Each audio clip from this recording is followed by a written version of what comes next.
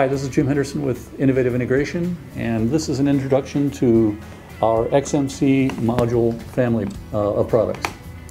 Now, XMC modules are VITA 42 standard. They're 75 by 150 millimeters in size.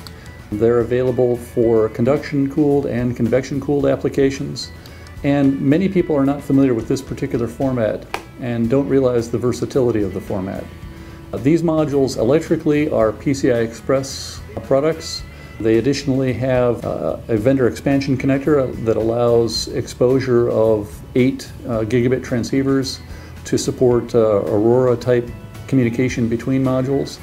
There's an embedded field programmable gate array underneath the heatsink on this module. A variety of FPGA types are available, Virtex 6, Kintex UltraScale, we carry the full Xilinx line of FPGAs. But the value in using this particular modular format is that it can be adapted for use in a wide variety of ways.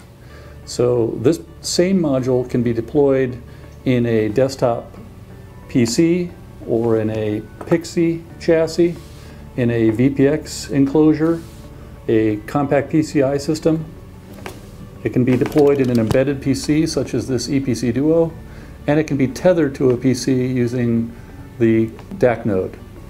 So in every one of these cases, this module is mated up to the adapter of choice. For example, if I were to adapt this module using this 80259 adapter, this becomes a plug-in card that could be installed inside of a desktop PC or an industrial PC. If I mount the module onto this adapter, this becomes a PXI Express plug-in card. It can be used in any standard PXI chassis. Still gives you full PCI Express connectivity and exposes the gigabit transceivers for board-to-board -board communication via these QSFP connectors. And the DIO on the module is also exposed. If you want to use a VPX type enclosure, our VPX adapter is available and the module, due to its um, mechanical and, and thermal benefits, can be conduction cooled or convection cooled. If you're using a legacy platform like Compact PCI, we have an adapter for that. And say that you have an application where you'd like to locate the module and its A to D converter in close proximity to the device under test, but you don't want to put your PC in close proximity to the device under test, you can tether using this DAQ node up to 10 meters away from the PC and still have the full benefits of the field programmable gate array and high speed analog I.O. immediately in proximity to the device under test.